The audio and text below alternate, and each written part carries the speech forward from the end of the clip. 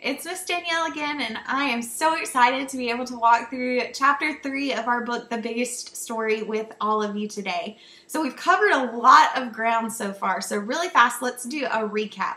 So, we started chapter one with creation. God created everything, and it was good. And then we saw the first sin, the not good part of the story. And then Adam and Eve had to leave God's perfect creation. Then, yesterday in chapter two, we spent some time in the book of Genesis again, this time looking at chapters 6 through 11. We heard about some bad days, like the first murder, when Cain murdered his brother Abel, and when God flooded the earth to punish the people's sin, and then again when God scattered all of the people everywhere after the Tower of Babel. But we also heard that even in the bad days, there were some bright spots. Times when God showed the love and care that He still had for His people, even when they messed up pretty big. We learned that God saved Noah and his family from the flood. And then we learned that God even promised Noah that he would never again flood the earth. So we talked about covenants and what it means when God makes a promise with his people. We also heard how later, even when the people still rebelled against God and built the Tower of Babel, God still wasn't done saving his people. So not only was it a time when things were scary and uncertain, but God used that time to help more people learn about Him. So that was yesterday. Now let's get into today's chapter. We have a lot of ground to cover, and I'm excited to get to unpack all of it with you.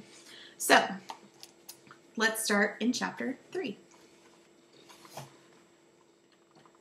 Not too long after the whole tower business, God called a man named Abraham to leave his home and go to a new country. Actually, his name was Abram at this point, but everyone remembers him as Abraham. When God called Abraham, he made a lot of big promises. He promised to bless Abraham and to bless everyone who blessed Abraham. He promised to curse everyone who cursed Abraham. He promised Abraham a land and a child. God promised that Abraham would be the father of a great nation and that all nations would be blessed through him.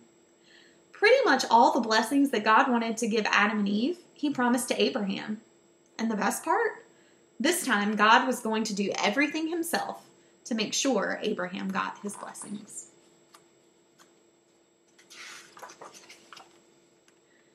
You might think that God wanted to bless Abraham because he was such a swell guy. But Abraham didn't know God at all when God called him. And even after he got the call and all these promises, Abraham could still be a liar and a bit of a scaredy cat. Abraham's life had a lot of ups and downs, but he had two things going for him. The only two things, it turns out, that really matter God's promise to bless him and Abraham's belief in God's promise. That's all Abraham had, which was a good deal because it was all he needed. At times, it looked as if God wasn't going to keep his promises to Abraham. For one thing, it was about a hundred years before Abraham and his wife Sarah, who used to be called Sarai, had a baby named Isaac, who, thankfully, was always called Isaac. And then, when the baby grew into a boy, God told Abraham to kill him. That must have seemed like a not so funny way to make a great nation out of Abraham. But Abraham listened to God anyway. And at the last second, God gave Abraham a ram to sacrifice instead of his beloved son. It was God's way of saying, I'll take care of the rescuing. Just trust me. Eventually, Isaac grew up, got married, and had some kids of his own. Twins, to be exact Esau and Jacob. God picked Jacob to get the blessing, even though he was the younger brother and wasn't supposed to get the blessing. But God is God, so he gets to pick. Jacob had 12 sons, and this time it was the fourth son, Judah, who wound up with the best blessing. Jacob told Judah that a lion of a leader would come from his family. Great blessings on not so great people. Isaac was sort of a weakling, Jacob was a selfish trickster, and Judah did such dumb stuff we don't even want to talk about it. And yet, again and again, God kept his promises all the same. He blessed the whole lot of them, despite themselves. Maybe the snake crusher would still come from the gnarled branches of the Abraham Isaac Jacob family tree. And that's where we're going to stop for today. So, a lot of family tree um, type things happening in our story today, but okay, a lot of great promises for us to unpack as well. So, again, this part of our story is also coming from the book of Genesis. Don't worry, we're going to leave Genesis tomorrow. But specifically, the parts of Genesis that we're going to talk about today come from chapters 15 and chapter 22. Okay, so today we're going to look at all of God's promises to Abraham. And we're also getting our clearest picture here yet of how God intends to rescue his people. There's still sin, we can't forget that. But we're seeing a shift in the story now. So let's look at some key passages together. So you know what to do. If you don't have it already, go grab your Bible, pause the video. I'll wait here for you. All right, so now you've got your Bible, and if you don't have it, you're tuned in, ready to listen. Okay, we're going to flip to Genesis chapter 15. So we're still in that first book of the Bible.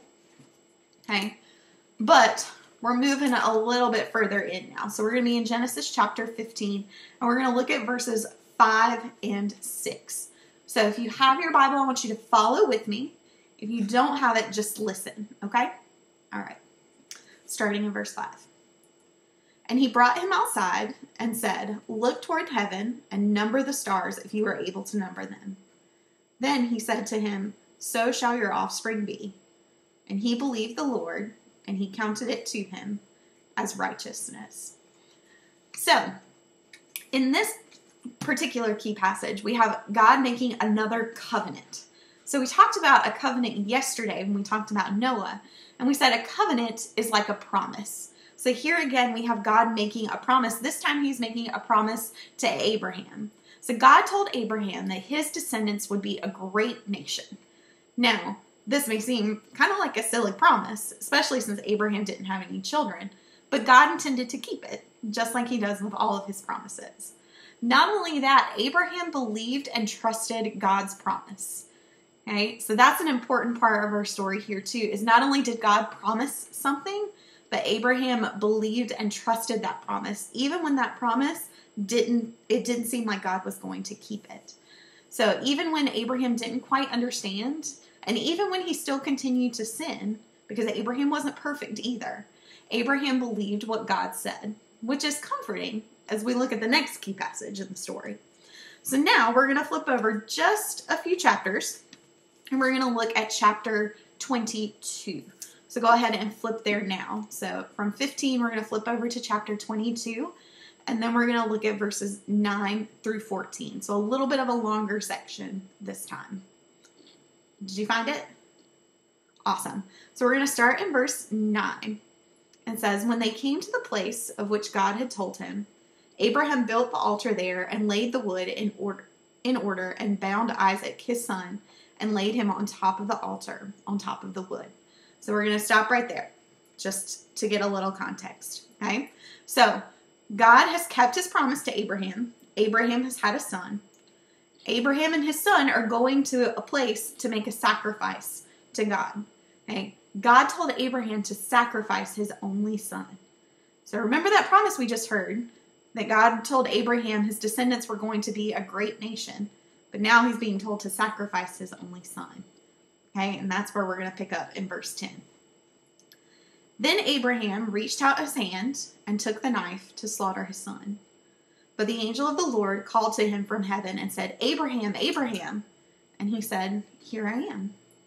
He said, Do not lay your hand on the boy or do anything to him, for now I know that you fear God, seeing you have not withheld your son, your only son, from me.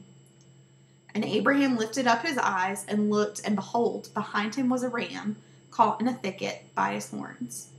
And Abraham went and took the ram and offered it up as a burnt offering instead of his son. So Abraham called the name of that place, The Lord will provide. As it is said to this day, on the mount of the Lord it shall be provided. So, whew, again, that's a lot to unpack. Okay, so if we think back to that promise that God made to Abraham back in chapter 15, okay, God promised that he would make Abraham a great nation. And now we see him telling Abraham to sacrifice his only son. And this seems very scary and kind of confusing. Okay? It probably felt that way to Abraham. It certainly felt that way to Isaac.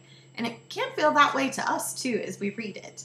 Okay? But ultimately, okay, what we see happening here is that God didn't have Abraham sacrifice his son. God provided another way for Abraham to make the sacrifice.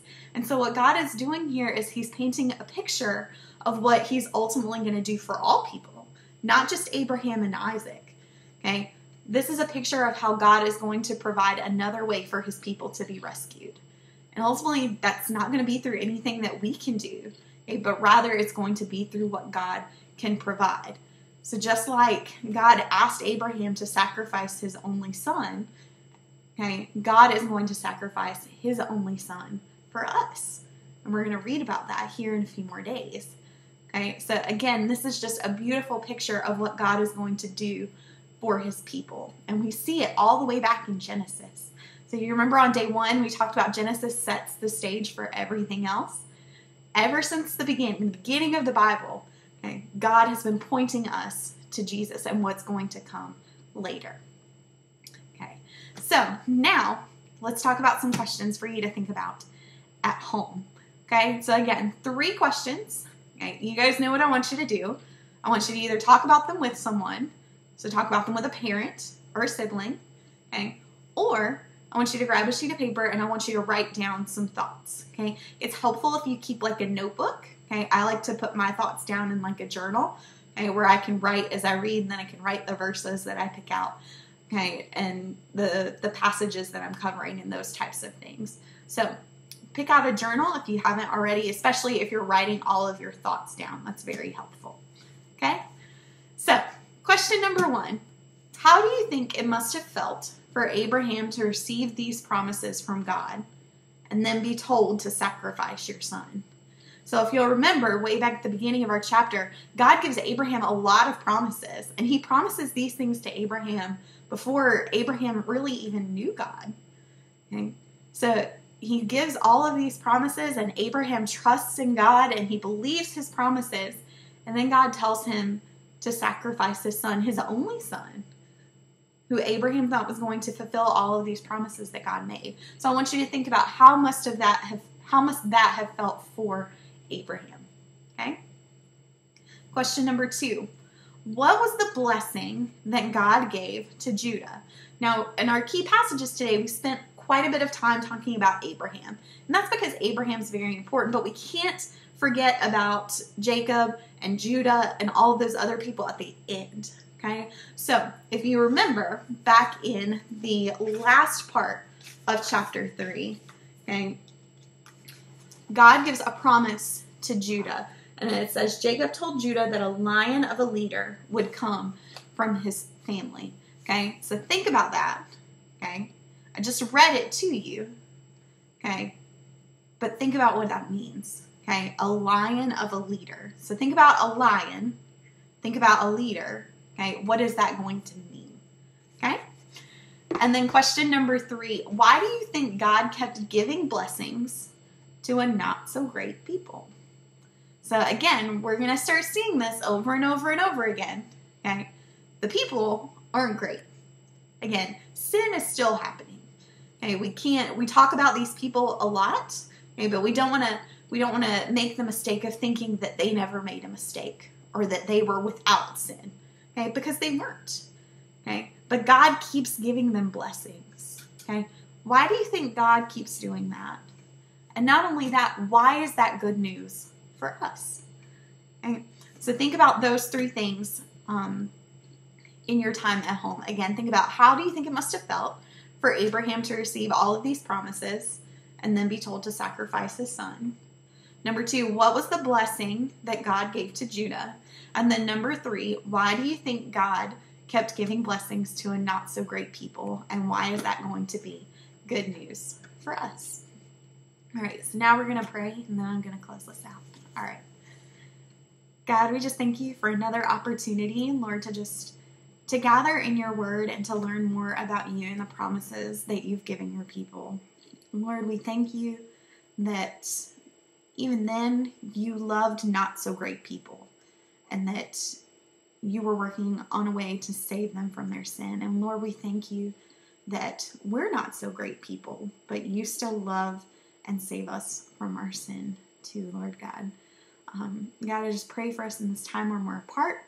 Lord, that you will help us to use all of our resources well and to help this to be a time where we can get to know you more. Um, God, I just pray that you will just be with us and strengthen us until we can come back together again. In your name we pray. Amen. All right, guys, so that is it for today. So if you have some time, go back and reread those Bible passages from today's story um, with your parents or with a sibling or even by yourself. Um, especially spend some time in Genesis chapter 15, verses 5 and 6, um, and then flip over to chapter 22 and look at verses 1 through 8. Okay, then talk or think about some of the questions you heard today. And then I'll see you again tomorrow for part four, where we will finally move out of Genesis and into Exodus. So have a great day. Remember to be kind and show the love of Jesus to your family. I'm praying for you always, and I'll see you soon. Bye.